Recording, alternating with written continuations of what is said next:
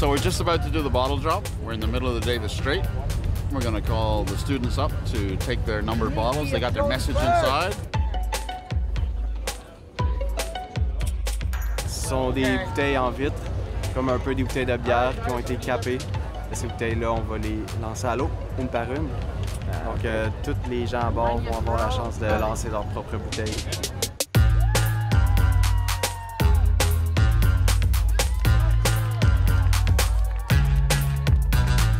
Hope that ocean currents are gonna take this bottle somewhere around the world to like a beach, a shore in uh, Portugal or like, I don't know, Spain. Uh, that will help scientists track uh, ocean currents and uh, determine how fast the bottle moved and uh, yeah, stuff like that.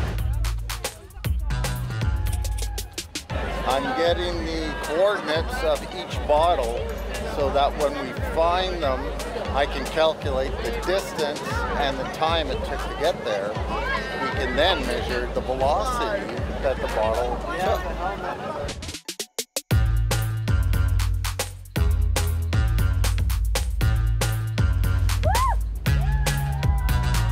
It was quite a bit of fun to watch them throw. Everybody's got their own style, and uh, as long as they all go over the side, we're happy.